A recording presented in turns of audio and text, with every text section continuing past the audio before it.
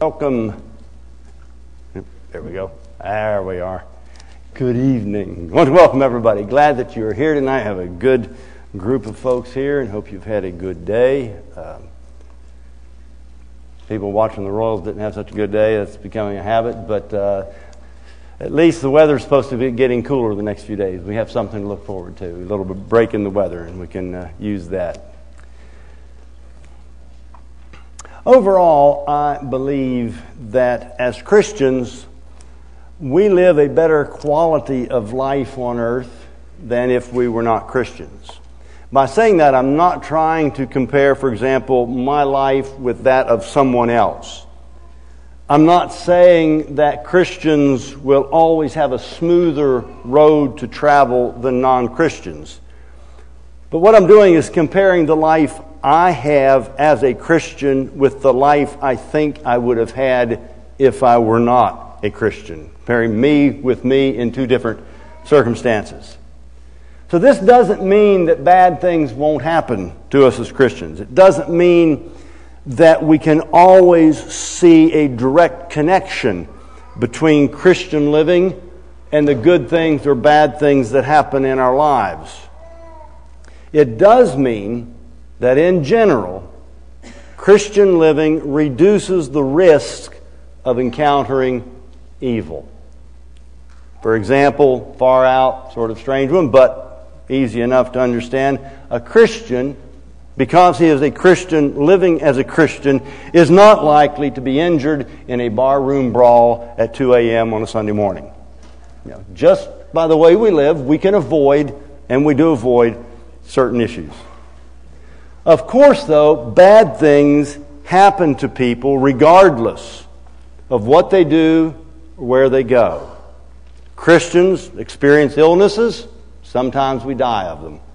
Christians have family tragedies. We're not immune to that. Christians lose their jobs and face the financial burdens that go with that. So there are variables that are, in any case, beyond our control. The greatest asset, though, that we have as Christians is a faith that sees beyond life on this earth. When bad things happen, our faith tells us that our heavenly reward is still waiting for us. When we have successes and accomplishments, our faith reminds us that something even better lies down the line. It also keeps us from placing our confidence even in the good things that happen to us on earth, because even those blessings are as temporary as, as the earth itself. In short, our faith gives us a perspective that guides us in dealing with whatever happens to us on earth. Bad things hurt and just because we're Christians doesn't mean that we don't feel the pain, whether it be physical pain or emotional pain. We still feel it. But we are better equipped to, to deal with the pain and with the uncertainty of life with faith than without it. Good things give us cause for rejoicing, but they don't make us overconfident. And even for the most faithful of Christians, life is still full of uncertainties. Being a Christian doesn't mean that we automatically see the bright side in everything that happens. We are, however, called to apply our faith to whatever happens in a way that is still faithful and God pleasing. The Apostle Paul is possibly the best New, Testament example we have of this. He is at least the first century Christian for whom we have the most information about both the good and the bad things that happened to him. And even the great apostle Paul, though, didn't automatically and invariably respond with a cheerful smile regardless of, regardless of what happened. When he wrote his letter to the Philippian church, and we'll be in Philippians, the first chapter this evening, when he wrote his letter to the Philippian church, he was facing obstacles and uncertainties. He was in a Roman prison, waiting for a hearing and some sort of judgment before Caesar. He seems to have had some reason to think that he would be found innocent of the charges, but a trial is still a trial. And things don't always go the way you think they're going to go. Being chained to a wall or to a soldier day in, day out for months on end could wear on anyone's positive attitude. Paul was going to be tried by Caesar, who at the time was Nero. This was around the year 62 which was before Nero became totally cruel and probably insane. But Nero was still Nero, and he wasn't always predictable. Sanitary conditions in Roman jails weren't the best. It would have been easy to catch some disease such as pneumonia or tuberculosis. Even for this man of faith, life in a prison was uncertain and unpleasant and his faith was tested every day. Philippians chapter 1, beginning in verse 12 down to around verse 26, is an eloquent statement of spiritual, Christ centered priorities in the face of life and death situations and uncertainty. This evening, I want to look mainly at verses 19 and 20 that Sam read for us a moment ago. In verse 19, Paul expresses confidence in the prayer of other Christians on his behalf and in the power of the Holy Spirit on his behalf. In verse 20, he expresses confidence in his faithfulness potential, but he also admits that there is still a potential of weakness and unfaithfulness. And he declares that his desire was to magnify Christ regardless of what happened to him. We're going to look particularly at the expression that he uses to magnify Christ. We will always have the normal concerns of life. Life can be troublesome, it is always uncertain, but our goal should be to face daily situations faithfully and without sin. Paul was less concerned about going to court than he was about magnifying Christ when he went to court. Philippians chapter 119, Paul expresses his fundamental confidence as he faced an uncertain future.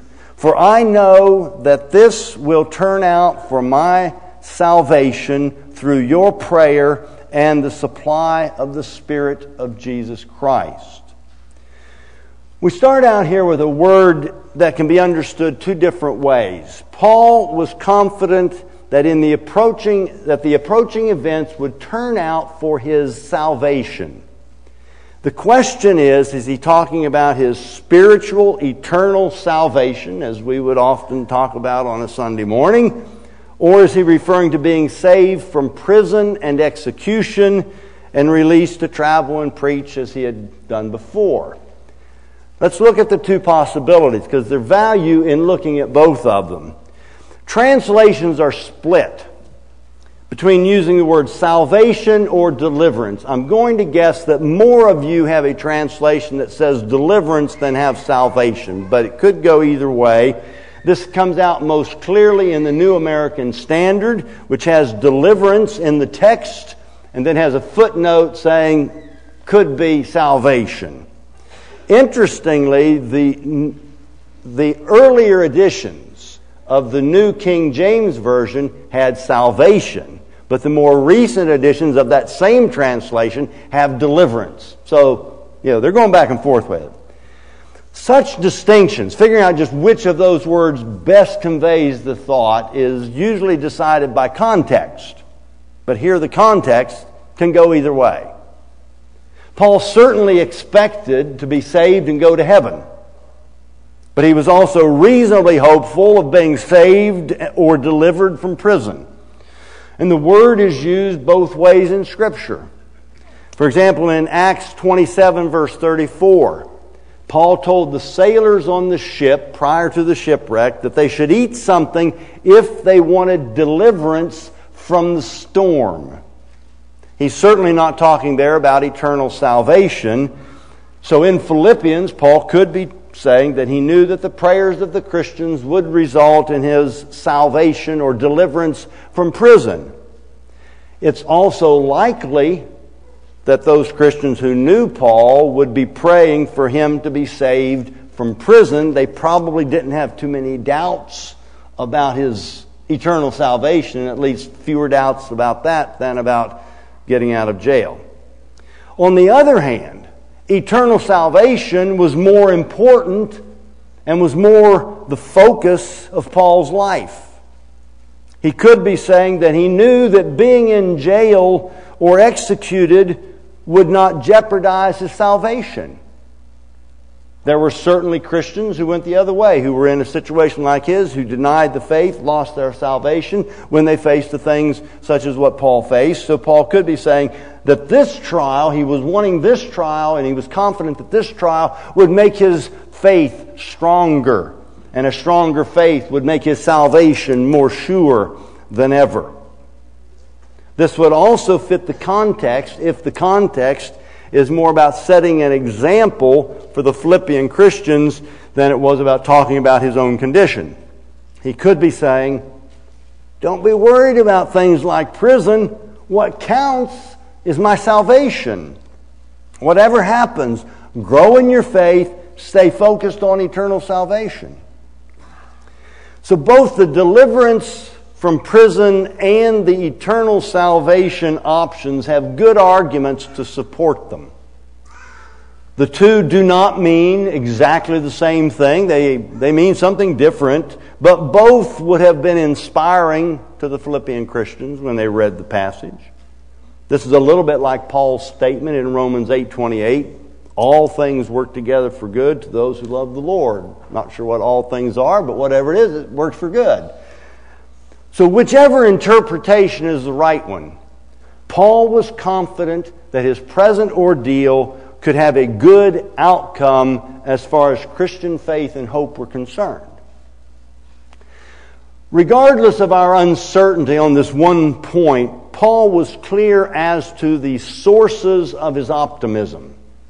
First of all, he had confidence in the benefit of the prayers of the Philippian Christians on his behalf.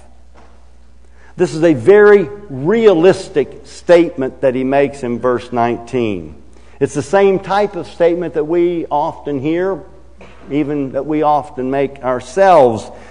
This, there wasn't much that the Philippians could actually do to help Paul in his situation. Later in the letter, he does refer to their financial support that they had sent to him, which could have helped make sure that he had something to eat while he was in prison because the jail service didn't necessarily provide that for you. But their prayers were also valuable. And we often find ourselves in a situation where we might say, I can't do anything to help you except pray, and I will certainly do that. And that is not to belittle the value of prayer at all. On the contrary, it is to appreciate the unique value of prayer. Some kinds of, assess- of assistance were severely limited and still are severely limited by distance or by other physical limitations.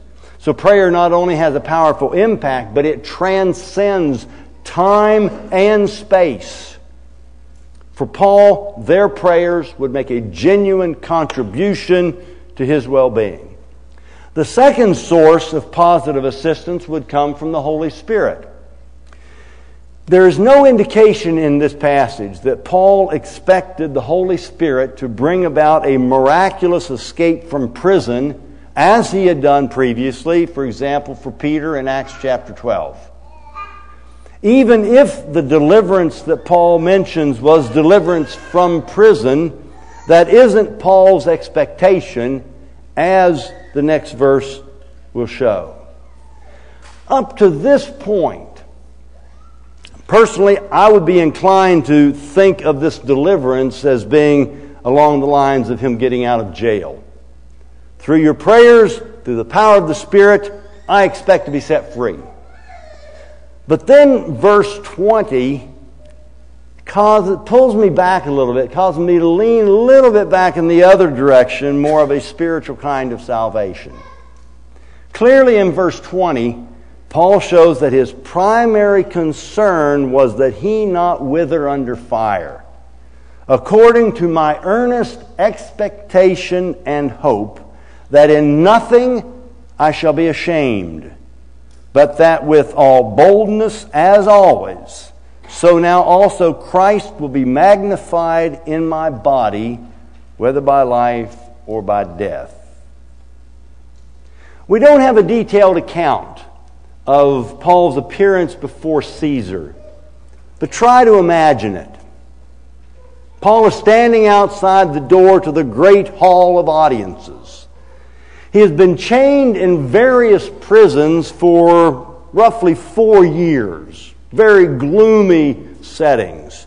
And he's now in this huge, impressive, opulent antechamber waiting to hear his name called.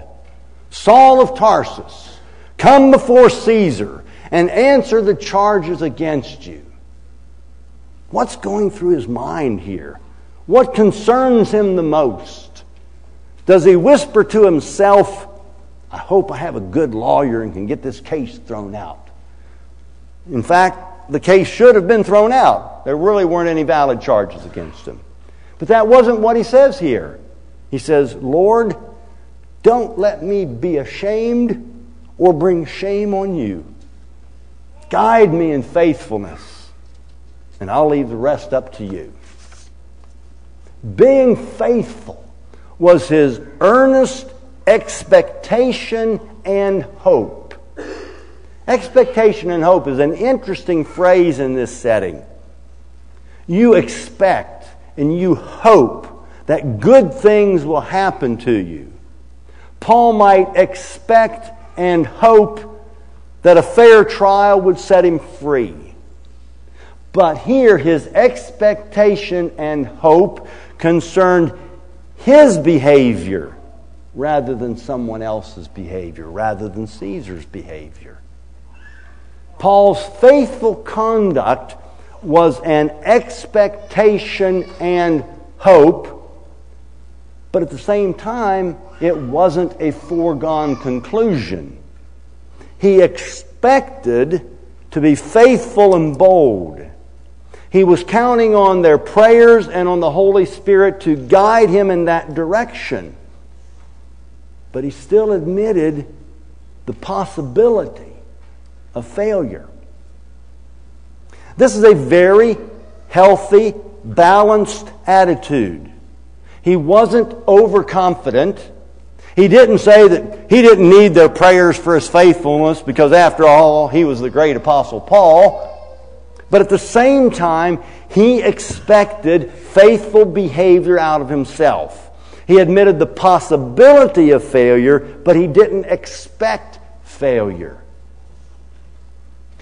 There may be times when we confuse humility with defeatism. It's true that we all sin. Romans 3:23, I know it. We all sin, fall short of the glory of God. However, John says in 1 John chapter 2 verse 1 that he was writing so that we would not sin. So which is it? And what do we expect of ourselves? Golfers are notorious for this. We meet up with our golfing buddies and before we ever get to the course, we start talking about our aches and pains. Shoulder hurts, back's a bit stiff, wrist is a bit sore. We're expecting bad shots and we're already laying the groundwork for our excuses and for our failures. Paul, though, is not lowering expectations so that he doesn't have to feel guilty when he sins. Paul knew that temptation was real. He knew that he was not immune to it. But he had every intention, and, every, and more important, he had every expectation that he would stand before Caesar with faithful boldness. He did not undermine his own behavior by expecting to sin. The phrase, though, that I really want us to look at is when Paul says that he wanted Christ to be magnified in his body. It's an unusual but impressive idea that Christ can be magnified in our bodies, and it's doubly amazing when you look at some of our bodies. More seriously, though, in Christian thought, we tend to, we usually emphasize the spiritual part of man. Our outward person, the body, it's wearing out, but our inward person is the part that is being renewed daily to bring glory to God. But here Paul says that even our physical bodies can magnify Christ. Paul's physical body wasn't too great either. We know that he had been brutalized on several occasions. It's most likely that Paul's back was a single mass of ugly scars from multiple beatings. It would also be understandable if he had other kinds of ailments, possibly something like arthritis from being chained in damp, dark dungeons, not to mention the thorn in the flesh that he mentions in 2 Corinthians. But he wasn't talking about beauty or physical strength. He was talking about behavior that would please God. When Paul stood bodily before Caesar, he wanted Caesar to see what faith in Christ did for a man. He would see a man who had suffered great physical abuse because of this Jesus guy. But he would also see a man whose faith in Christ and commitment to Christ were in no way diminished. And he wanted to explain to Caesar himself why even Caesar should believe in and surrender to Jesus of Nazareth. Faithful behavior magnifies Christ. Magnify means what it says to make big, to enlarge. Now, some translations put exalt or praise, which would be okay. Those would be accurate, I suppose, but they lack the imagery of magnification.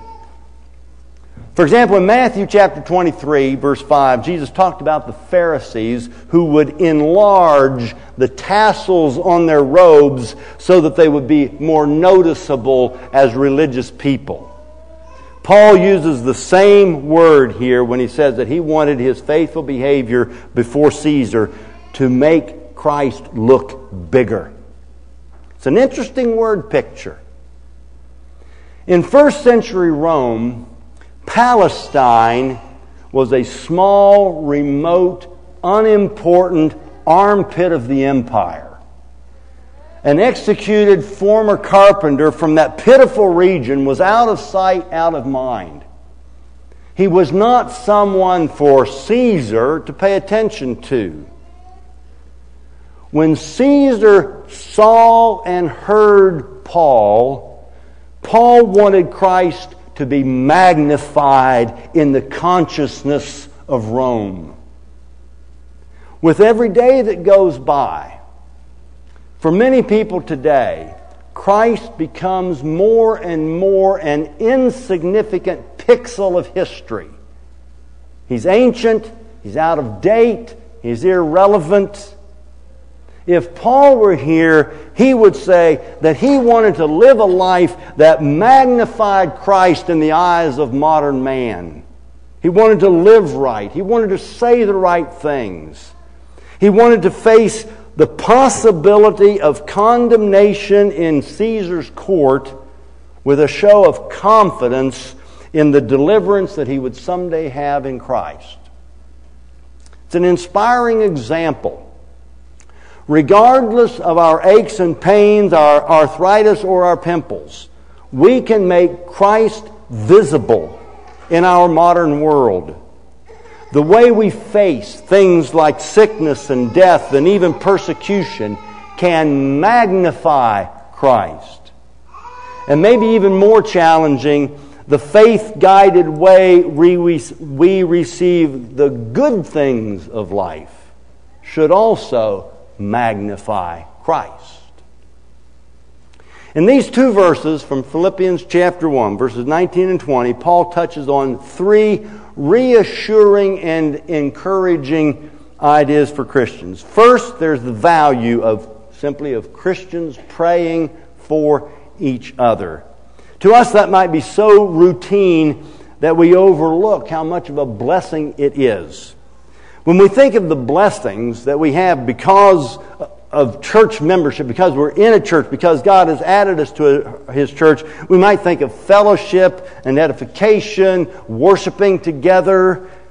But we shouldn't forget about the members of this family praying for each other, both in supplication and in thanksgiving, because that's what Paul was talking about for the Philippians. Second is the supply of the Spirit. It's clear from verse 20 and from other passages that whatever the Spirit did for Paul, it didn't relieve Paul of his own responsibility to persevere and resist temptations. But Paul also knew that when he was tempted, he was not on his own to do the right thing. If he was trying, the Spirit was helping.